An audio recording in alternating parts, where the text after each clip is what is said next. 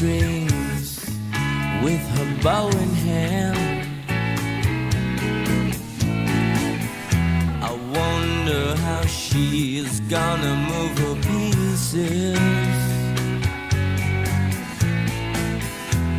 when the king wants to checkmate with the queen. It's so late.